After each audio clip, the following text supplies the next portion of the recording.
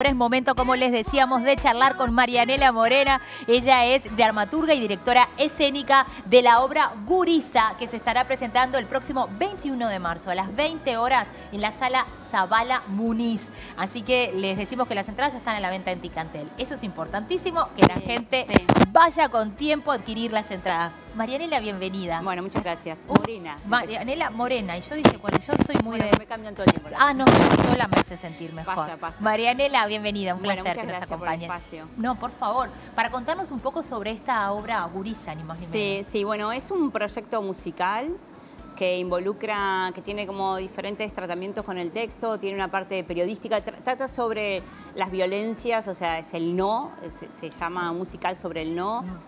Sobre todos los no, sobre todas las violencias que vivimos las mujeres, eh, adolescentes, jóvenes, diferentes edades. Gurisa tiene que ver también con todas eh, crecemos, pero seguimos siendo gurisas, o en algún momento de nuestras vidas, también cuando fuimos gurisas, vivimos determinadas cosas que, luego no, pudimos manejar o controlar, entonces tiene que ver con eso. Y está planteado eh, desde lo periodístico, hay un bloque que es periodístico a partir de noticias... ¿Que, fueron sucediendo? Claro, noticias de diferentes lugares del mundo sobre ah. ataques a, mujeres, eh, ya sea de abuso, acoso, violación Em, hay otro bloque que es ficción y hay otro bloque que para mí es como el más importante y creo que hace la diferencia en este espectáculo, que es testimonial sobre las músicas, las mujeres músicas de la banda eh, municipal, las mujeres músicas, las intérpretes que cuentan, hicimos encuentros con ellas y nos contaron situaciones eh, de incomodidad, de abuso, de violencia que sufrieron en el ámbito laboral, dentro mismo ahí de, de la, ya sea en la banda con sus compañeros o eh, diferentes vínculos, un director, un profesor, un maestro, un, maestro, un administrativo. Y me parece que hace eh, como la, gran diferencia cuando las voces son las voces de quienes vivieron la situación. Porque es, contado en primera persona. Sí, a pesar que no son actrices, se animaron y lo van a contar. Hay, una, hay un momento del espectáculo donde ellas van a dejar su instrumento y van a utilizar el instrumento de la palabra para contar estos relatos. Entonces, es un espectáculo diferente, diferente no, nunca dice nada, pero bueno, eh, diverso. Porque además tiene distintos bloques, como nos claro, contando. Que, que atraviesa o que tiene diferentes perspectivas, ya sea contado desde, como te digo, desde lo periodístico, que se toman diferentes datos de diferentes eh, prensa de diferentes partes del mundo, de Uruguay, de Argentina, de España, estoy pensando así en voz alta, de diferentes casos que han sido muy mediáticos, de alto impacto, muchos son conocidos por, las personas. Luego hay una ficción que la escribí yo que tiene que ver con estas resonancias, de cómo nos impacta, qué nos pasa, eh, como un tratamiento más de la interioridad, de, esas violencias, cómo nos repercuten, cómo nos generan o, qué traumas, o, desde el trauma algo más grande, algo más pequeño, o cómo nos relacionamos luego después de haber sufrido eso. Bueno, ahí hay una ficción. Y luego están los testimonios.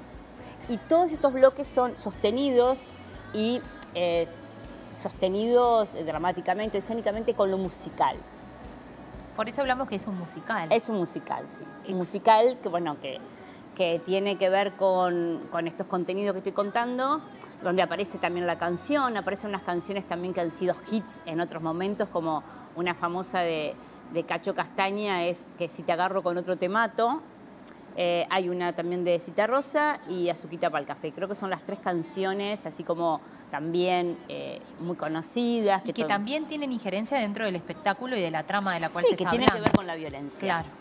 Pero, pero qué bueno también poder mostrarlo porque quizás hay veces que no nos damos cuenta eh, sí, claro, que se está eh, ¿no? Pasó también, o está pasando, veníamos conversando con, con Carlos. Y, Estamos viendo imágenes de em, cómo tenemos naturalizados eh, tanto eh, o naturalizadas o tanto el, sistema cultural, el sistema en el cual la sociedad hemos incorporado determinadas formas de, convivencia, desde los piropos, desde la mirada, desde cómo te relacionas con una compañera, desde comentarios de entraste porque estás buena o, darte vuelta a mirarle eh, cómo se va, cómo viene y cómo se va, el escaneo sobre un cuerpo. Bueno, hay un montón de situaciones que, tienen que ver con, bueno, con las vivencias que hemos tenido las, mujeres a lo largo del tiempo y que en, determinado momento se estaba muy naturalizado que claro, estaba así. Exacto, hasta en la música. Bueno, era como lo que estábamos hablando, era y hasta hasta, hasta en cualquier ámbito laboral porque son personas, hay hombres y mujeres que se están relacionando bajo un sistema cultural y un sistema social y en el ámbito laboral donde aparecen, bueno, en el ámbito familiar, en el ámbito laboral, donde estás compartiendo... Donde hay formas de compartir, ahí es donde más aparece. Y, bueno, y esa, eso de, bueno, cómo me miró, cómo me dejó mirar, cómo me insinuó determinada cosa, o se burló porque soy mujer, o, los comentarios sexistas de, eh, bueno, esta está buena, o la que te tocó al lado a mí no me gusta tanto. bueno, eso que nosotros lo hemos incorporado como, algo forma de relacionar. Sí, bueno, eso va a aparecer en un momento. Y nos va a dar un cachetazo a la realidad, ¿no?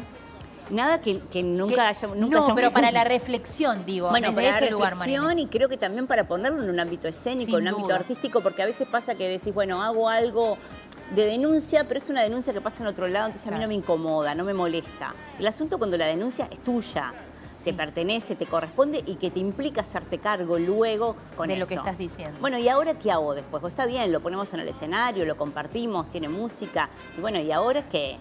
O sea, no es lo mismo. No, es lo mismo mirar para el costado y decir, bueno. No, incluso para el, para el espectador, que de hecho. Para todos, y para todas, y para todos. Para exacto. Para acá no hay nadie que diga, bueno, yo no tengo nada que ver. No, no, no, no. no. Eso Nos implica, digo, me incluyo, ¿no? Obviamente, ¿no? Pero por eso lo hablamos desde el lugar de cada uno de nosotros. Sí, y, creo que el camino es la, honestidad. El camino es decir, bueno, yo puedo con esto y con esto no puedo. O sea, es como es una postura. Me quedo con esa frase que me El camino es la honestidad. Ser honesto con uno mismo. Eh, recordarles entonces que, como bien decía Marianela, la posibilidad de ver este gurisa va a ser el próximo 21 de marzo a las 20 horas en la sala Zabala Muniz, en el Teatro Solís. Y de hecho, los invitamos, como decíamos al inicio de la nota, a que saquen sus entradas en Tiquiantel. Marianela, eh, muchas gracias. No, gracias a vos. Un placer. Todos, todos a ir a ver Gurisa, sin duda alguna, y a quedarnos con la honestidad. Gracias, Marianela. No, por favor.